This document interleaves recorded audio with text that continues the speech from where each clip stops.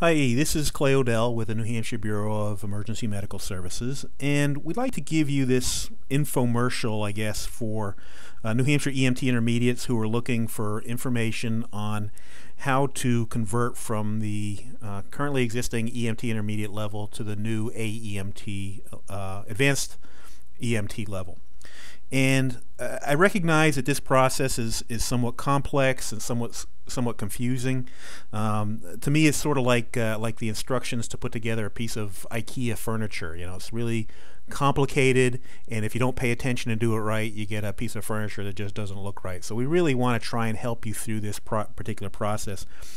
What we'd like to start with is to give you kind of a brief overview, uh, you know, summarizing the most important points and at the end of this presentation give you a link to further resources uh, for more in-depth information uh, for you know for regarding uh, like a list of frequently asked questions and things along those lines. But we want to just kind of give you a brief summary um, summary on on this um, and then again links to, to our website for for some additional resources. So I guess to uh, make it very simple, there's really two major components to uh, to making the conversion from the EMTI to AEMT, uh, and that uh, talk is consistent consists of uh, of uh, taking a uh, attending a course.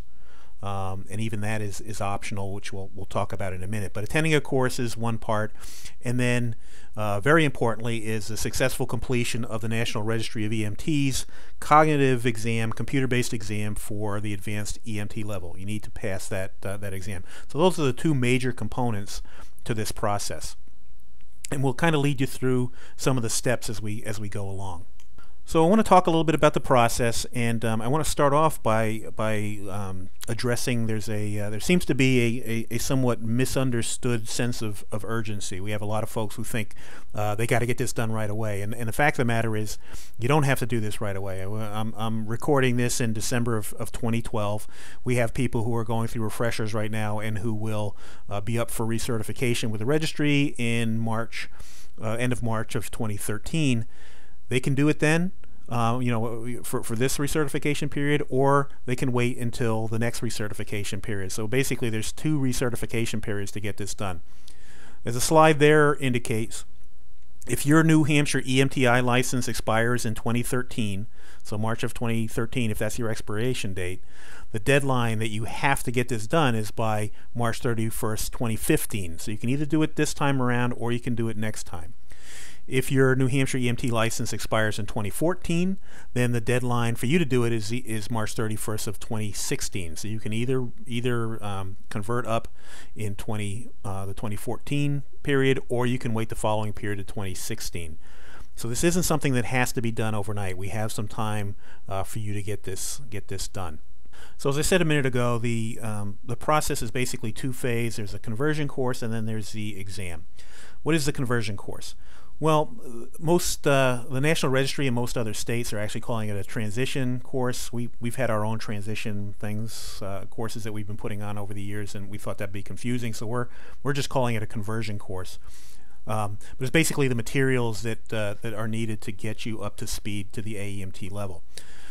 We've had some folks who think that this is a 100-hour mm, uh, course that's required. That's absolutely not the case. Uh, our our folks uh, within the Bureau of EMS and other stakeholders who contributed their time to developing this, developed a curriculum that would uh, enable this to happen within the 36 hours of refresher training. Again, you, you're, you're used to taking the 24-hour EMT basic refresher and 12 hours of ALS Con Ed.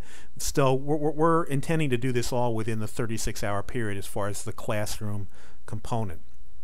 So um, I think it's important that you, that you understand and, and that you remember that there is no um, no required separate course for, for to get you from the EMTI to the AEMT. This is a component of your refresher program. So what is the course? What does it consist of? Well, certainly you're going to have a number of classroom lectures that are designed to give you the information that's new from the EMTI to the AEMT level, um, as well as some refresher stuff on the, the, the basic EMT I uh, education that you, you've had all along. There'll be some practical skills evolutions that you'll be doing as part of your 36-hour refresher. Um, and then there's an optional um, item that uh, that we offer to the instructor coordinators that we think is a helpful thing for for students to uh, acquire the information and develop a certain level of comfort uh, moving forward to the uh, the cognitive exam. So what is what is this? This is what we're calling the AEMT exam prep component. And um, again, our intent is that this will be included in the hours of the refresher. So this will be part of the 36 hours. Again, that's up to the instructor coordinator if they want to do it at all, and and and and, all, and if you know if so, whether this is included or or whether it's a standalone program. Completely up to the IC. Um, but but what is it? It's it's a review of all the uh, all the AEMT material that you're going to be expected to know in the cognitive exam. It's going to be in a multiple choice format that's similar to what you'll be seeing on the National Registry exam. Um, and it's mostly to just help hone your test taking skills to, to make you more comfortable and, and uh, you know, more prepared to take the AEMT exam. Um, and by doing that also to kind of allow you to do a self-evaluation for what areas that you need maybe some special um, special study prior to taking the exam. So this is, again, it's an optional thing. We think most folks are going to be experiencing this. Most instructor coordinators are going to be using that, but it's not a mandatory component.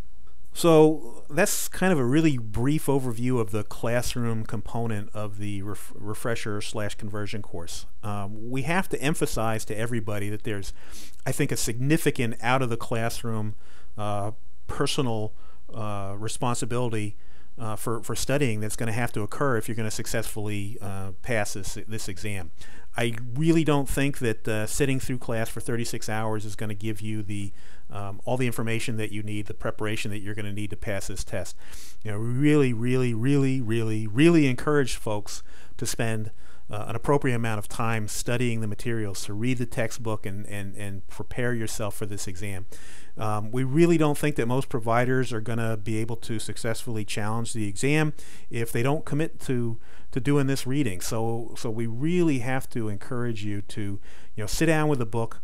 Uh, set up some time to study on a regular basis prior to taking this exam. There's just a, um, yeah, I can't I can't emphasize that uh, that too much. You have to study for this test. Now, I, I don't want to tell you that to, to, to scare you. I'm confident that most of our folks will be able to uh, successfully uh, pass the AEMT exam. I just want to emphasize that you really do need to uh, to have some uh, you know personal responsibility to sit down and study, not just sit in class. Okay. Anyway, so uh, other questions we have are um, related to: Do you have to take a practical skills exam? Is there a statewide exam uh, that you're going to have to take to prove that your, your technical skills uh, for the AMT level? And the answer is no. We were not going to be doing a statewide exam for this.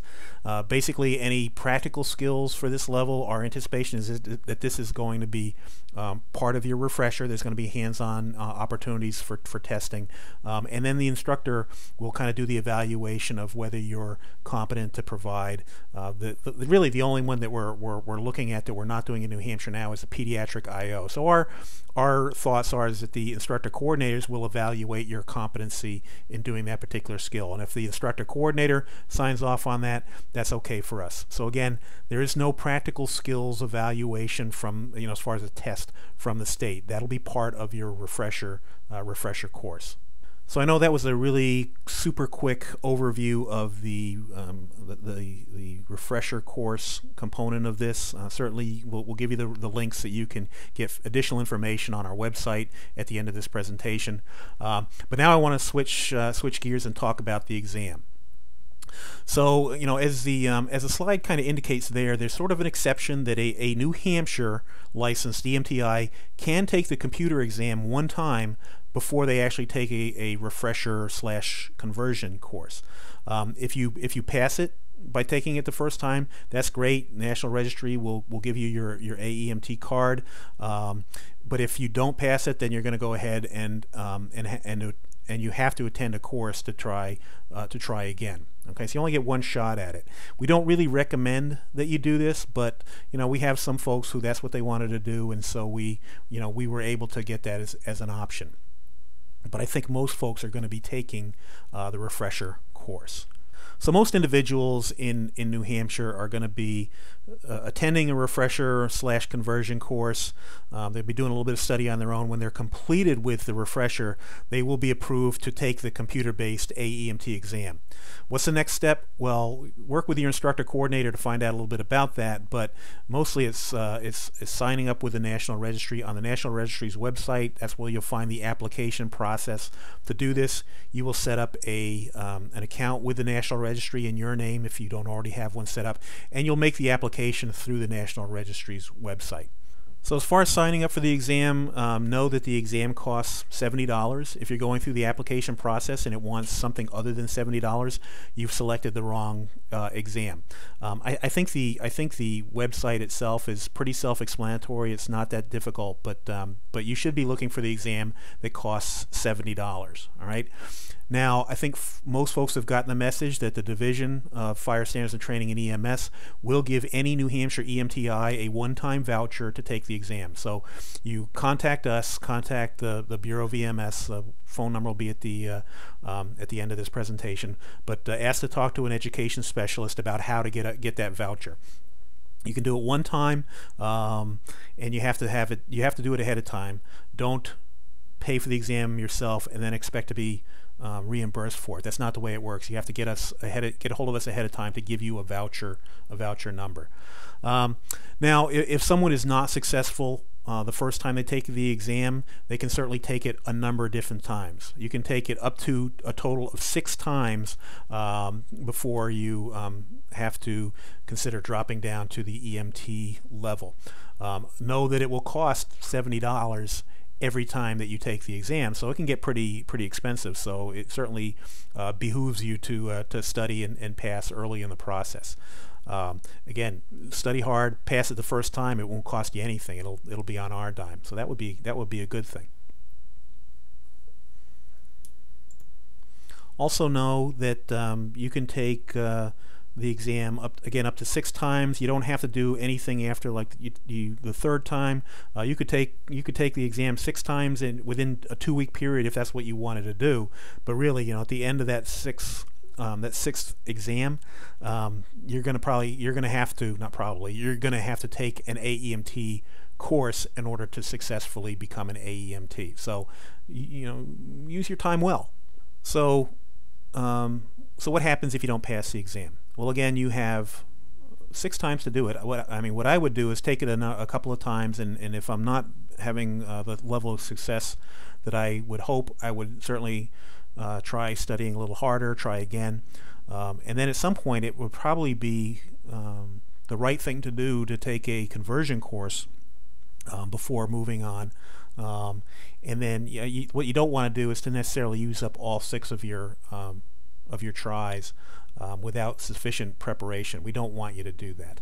Um, what will happen um, in 2015 or 2016 or after you've taken the exam six times unsuccessfully, um, the National Registry will give you a, a, a, National Registry uh, Emergency Medical Technician uh, card, uh, and you will need to license and, and practice in New Hampshire as an EMT. Uh, currently, what, what is an EMT basic level uh, will be called EMT in the future. Um, but that will be the uh, um, the outcome if uh, if you if you either don't want to do this process and want to wait until 2015 or 2016, um, you'll become an EMT, or if you're ultimately unsuccessful passing the test, you will uh, become an, an EMT. Where do you take the exam? Uh, well, again, this is a computer-based exam, and, and currently you have to take it at a uh, Pearson VUE approved site. Uh, the locations for uh, for the exam uh, currently in, in our area are um, the Pearson VUE Centers in, in Concord, uh, the affiliated uh, facilities, and there's one in Nashua, there's one in Conway, one in Littleton, Bradford, Vermont, Brattleboro, Vermont, or Westbrook, Maine are the ones that are closest to our region.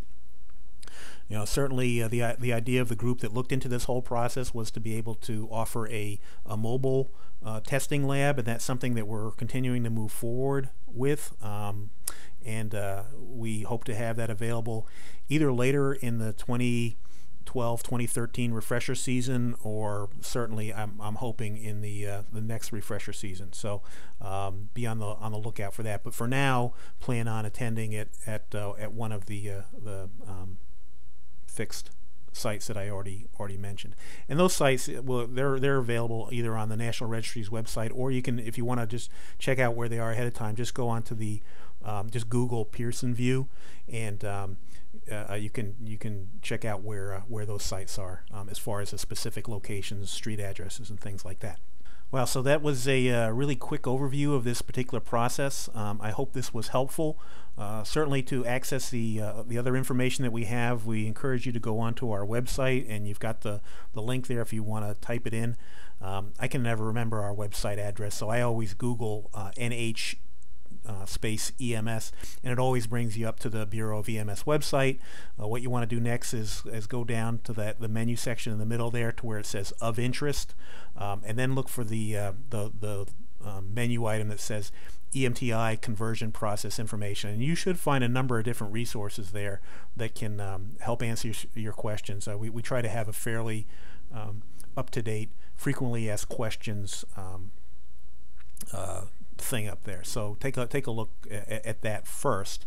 And certainly, um, feel free to call us at 223-4200. Ask to talk to an education specialist, and we will try to give you information, answer your questions, walk you through the process. Um, we're here to we're here to help you. Um, we want you to be successful uh, at, at, this effort. We want to make sure all our EMTIs in New Hampshire successfully make the transition to uh, to the AEMT. So uh, I hope this short presentation was uh, was helpful to you. Um, again, give us a shout if um, if you still have questions uh, after and good luck.